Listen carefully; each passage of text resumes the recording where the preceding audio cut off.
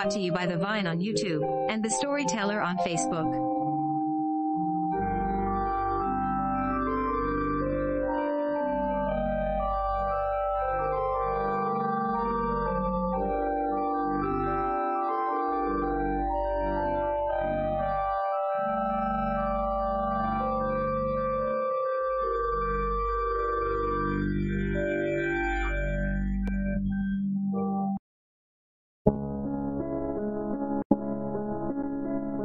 West, Reanimator. By H.P. Lovecraft, The Scream of the Dead.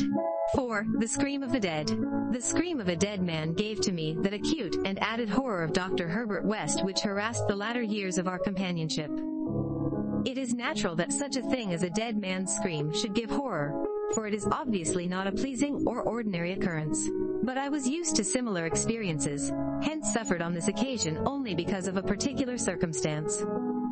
And, as I have implied, it was not of the dead man himself that I became afraid. Herbert West, whose associate and assistant I was, possessed scientific interests far beyond the usual routine of a village physician. That was why, when establishing his practice in Bolton, he had chosen an isolated house near the potter's field.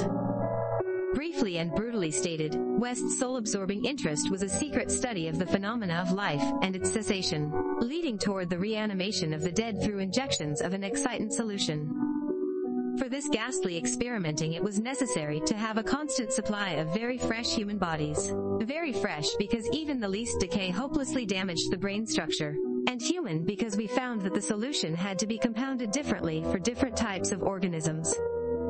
Scores of rabbits and guinea pigs had been killed and treated, but their trail was a blind one. West had never fully succeeded, because he had never been able to secure a corpse sufficiently fresh. What he wanted were bodies from which vitality had only just departed. Bodies with every cell intact and capable of receiving again the impulse toward that mode of motion called life. There was hope that this second and artificial life might be made perpetual by repetitions of the injection. But we had learned that an ordinary natural life would not respond to the action. To establish the artificial motion, natural life must be extinct. The specimens must be very fresh, but genuinely dead. The awesome quest had begun when West and I were students at the Miskatonic University Medical School in Arkham, vividly conscious for the first time of the thoroughly mechanical nature of life. That was seven years before, but West looked scarcely a day older now. He was small, blond, clean-shaven, soft-voiced, and spectacled, with only an occasional flash of a cold blue eye to tell of the hardening and growing fanaticism of his character, under the pressure of his terrible investigations. Our experiences had often been hideous in the extreme, the results of defective reanimation. When lumps of graveyard clay had been galvanized into morbid, unnatural, and brainless motion by various modifications of the vital solution. One thing had uttered a nerve-shattering scream, another had risen violently, beaten us both to unconsciousness, and run amok in a shocking way before it could be placed behind asylum bars. Still another, a loathsome African monstrosity, had clawed out of its shallow grave and done a deed. West had had to shoot that object. We could not get bodies fresh enough to shew any trace of reason when reanimated, so had perforce created nameless horrors. It was disturbing to think that one, perhaps two, of our monsters still lived. That thought haunted us shadowingly, till finally, West disappeared under frightful circumstances. But at the time of the scream in the cellar laboratory of the isolated Bolton cottage, our fears were subordinate to our anxiety for extremely fresh specimens. West was more avid than I so that it almost seemed to me that he looked half covetously at any very healthy living physique. It was in July 1910 that the bad luck regarding specimens began to turn. I had been on a long visit to my parents in Illinois, and upon my return found West in a state of singular elation. He had, he told me excitedly, in all likelihood solved the problem of freshness through an approach from an entirely new angle, that of artificial preservation. I had known that he was working on a new and highly unusual embalming compound, and was not surprised that it had turned out well. But until he explained the details, I was rather puzzled as to how such a compound could help in our work since the objectionable staleness of the specimens was largely due to delay occurring before we secured them. This, I now saw, West had clearly recognized, creating his embalming compound for future, rather than immediate use, and trusting to fate to supply again some very recent and unburied corpse, as it had years before when we obtained the Negro killed in the Bolton prize fight. At last fate had been kind, so that on this occasion there lay in the secret cellar laboratory a corpse whose decay could not by any possibility have begun. What would happen on reanimation, and whether we could hope for a revival of mind and reason, West did not venture to predict.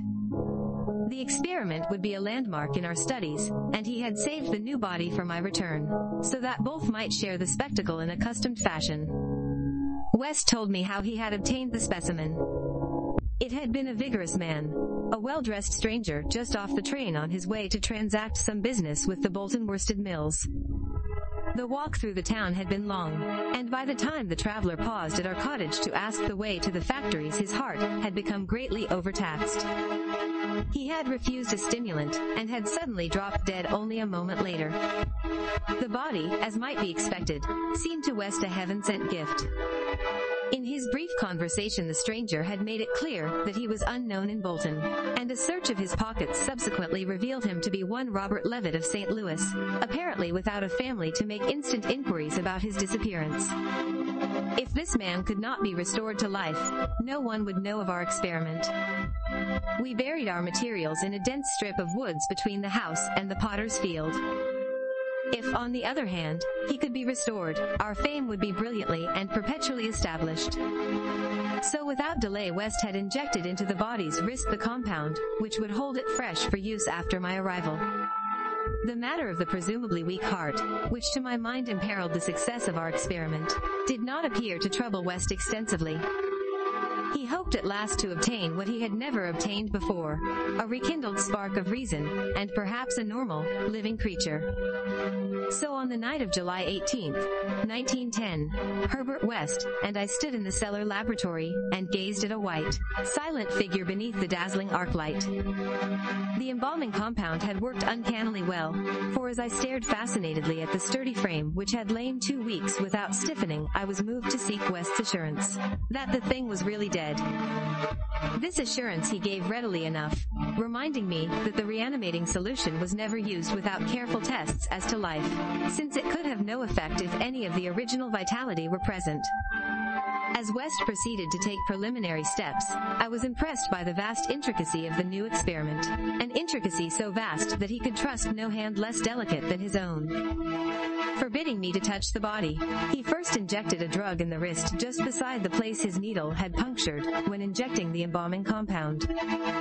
This, he said, was to neutralize the compound and release the system to a normal relaxation so that the reanimating solution might freely work when injected. Slightly later, when a change and a gentle tremor seemed to affect the dead limbs, West stuffed a pillow-like object violently over the twitching face, not withdrawing it until the corpse appeared quiet and ready for attempt at reanimation. The pale enthusiast now applied some last perfunctory tests for absolute lifelessness, withdrew satisfied, and finally injected into the left arm an accurately measured amount of the vital elixir, prepared during the afternoon with a greater care than we had used since college days, when our feet were new and groping. Cannot express the wild, breathless suspense with which we waited for results on this first really fresh specimen. The first we could reasonably expect to open its lips in rational speech, perhaps to tell of what it had seen beyond the unfathomable abyss. West was a materialist, believing in no soul, and attributing all the working of consciousness to bodily phenomena. Consequently, he looked for no revelation of hideous secrets from gulfs and caverns beyond death's barrier. I did not wholly disagree with him theoretically, yet held vague instinctive remnants of the primitive faith of my forefathers, so that I could not help eyeing the corpse with a certain amount of awe and terrible expectation. Besides, I could not extract from my memory that hideous, inhuman shriek we heard on the night we tried our first experiment in the deserted farmhouse at Arkham. Very little time had elapsed before I saw the attempt was not to be a total failure. A touch of color came to cheeks hitherto chalk white, and spread out under the curiously ample stubble of sandy beard. West, who had his hand on the pulse of the left wrist, suddenly nodded significantly, and almost simultaneously a mist appeared on the mirror inclined above the body's mouth. There followed a few spasmodic muscular motions, and then an audible breathing and visible motion of the chest. I looked at the closed eyelids and thought I detected a quivering. Then the lids opened, shewing eyes which were gray, calm, and alive, but still unintelligent, and not even curious. In a moment of fantastic whim I whispered questions to the reddening ears, questions of other worlds of which the memory might still be present. Subsequent terror drove them from my mind, but I think the last one, which I repeated, was, Where have you been?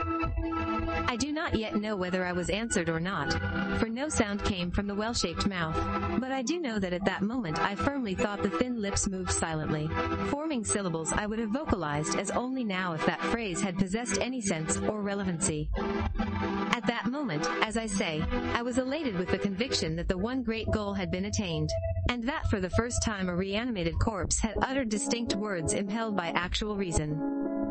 In the next moment there was no doubt about the triumph. No doubt that the solution had truly accomplished, at least temporarily, its full mission of restoring rational and articulate life to the dead. But in that triumph there came to me the greatest of all horrors. Not horror of the thing that spoke, but of the deed that I had witnessed, and of the man with whom my professional fortunes were joined.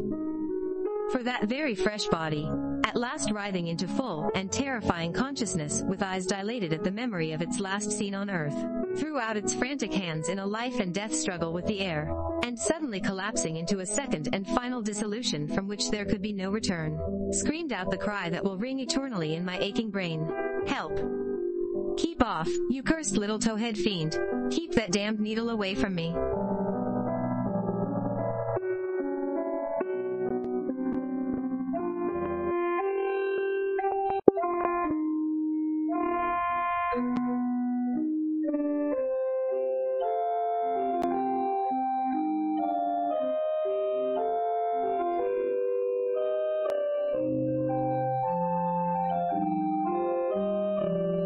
Brought to you by The Vine on YouTube and The Storyteller on Facebook. We thank you for your participation. If you enjoyed, please like, subscribe, share, make comments. We love feedback.